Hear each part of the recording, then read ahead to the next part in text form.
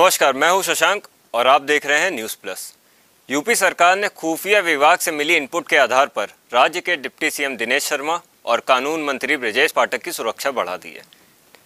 Deputy CM Dinesh Sharma को jet plus और मंत्री ब्रजेश पाठक को जेट श्रेणी की सुरक्षा दी गई है।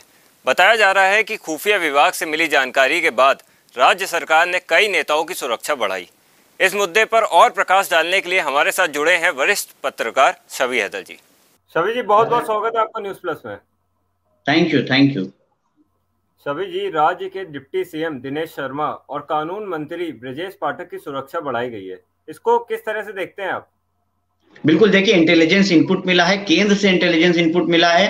ब्रजेश पाठक और deputy CM doctor Dinesh Sharma के लिए सुरक्षा इनकी बढ़ाई गई है जीवन पे खतरा है। क्योंकि देखिए लगातार इस तरीके की जो जो धमकियाँ हैं वो मिल रही हैं। कभी राजभवन को बम से उड़ाने की बात कही जाती है कभी अभी कुछ दिन पहले एक मेल मिला था जिसमें कहा गया था कि जितने भी स्टेशन है वो स्टेशन उड़ा दिए जाएँगे। तो कुछ सुरक्षित लोग हैं जो लगातार इस तरीके की हरकतें करते हैं पैनिक फैलाते हैं। तो आ, लेकिन ये वाला जो मामला है यानी कि जो दो दो नेता हैं इनकी सुरक्षा व्यवस्था बढ़ाए जाने का जो मामला है वो सीरियस मामला है क्योंकि तो केंद्र से इनपुट मिला है उत्तर प्रदेश की सुरक्षा एजेंसियों को।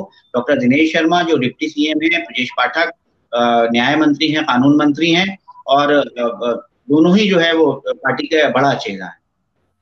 छवि जी, जिस तरह से अगर चुनाव के नज़रिए से देखा जाए, चुनाव आ रहे हैं और इन दोनों बड़े नेताओं की सुरक्षा बढ़ाई गई है तो इससे इनके दौरों पर किस तरह का असर पड़ा पड़ सकता है?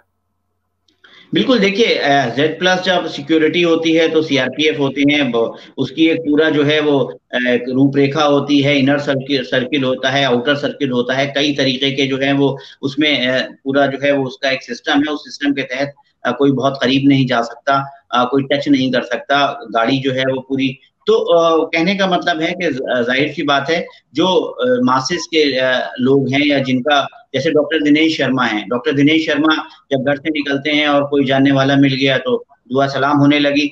एक बहुत ही जो है वो जन सामान्य नेता है, ज़मीन पे जिसे कहते हैं, रहने वाले नेता हैं। तो अब जब जेड सिक्योरिटी उनके पास होगी तो ज़ाहिर सी बात है वो, उनका जो मूवमेंट है, उस पर असर पड़ेगा। जो लोगों से मेल मुलाकातों का उनका सिलसिला होता है, कोई भी चला जाता है, जाके मिल लेता है, डॉक्टर साहब से अपनी बात कर लेता है।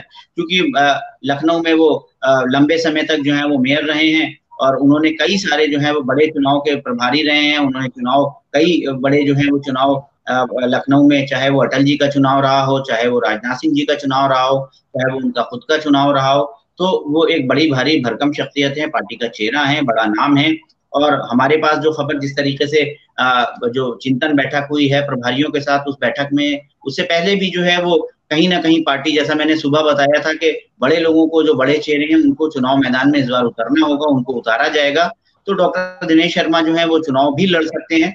ऐसी जो है वो चर्चाएँ कम से कम लखनऊ, पश्चिम विधानसभा क्षेत्र में हैं। तो आपका जो मूल सवाल है, यकीनी तौर के ऊपर असर पड़ेगा और जो मास कनेक्ट है, उस पर असर पड़ेगा, जो उनका मूवमेंट है, उस पर असर पड़ेगा, जो जनसभाएँ होंगी, लोगों से जो है वो मिलने में नहीं, उतना जितनी सुगमता पहले थी, अब उतनी सुगमता नहीं रह पाई। छवि जी, हमारे दर्शक इन सिक्योरिटीज के बारे में थोड़ी आसानी से समझ पाए, इसलिए एक सवाल है आपसे। ये जो जेट प्लस सिक्योरिटी होती है जेट कैटेगरी वाई एक्स इनको किस तरह से कैटेगराइज किया गया है? बिल्कुल देखिए इसमें जो इसका अगर हम एक आम भाषा में बात समझने की बात करें तो इनर सर्किल आउटर सर्किल कितने जवान जो है उनके साथ चलेंगे कितनी गाड़ियाँ उनकी फ्लीट में होंगी तो ये सारी चीज़ें होती हैं। जी छवि जी बहुत बहुत धन्यवाद आपका हमारे साथ जुड़ने के लिए। थैंक यू ताज़ा तरीन खबरों को जानने के लिए देखते रहिए news plus. News plus twenty four into seven channel को सब्सक्राइब करें, अपडेट के लिए बेल आइकन को दबाएँ।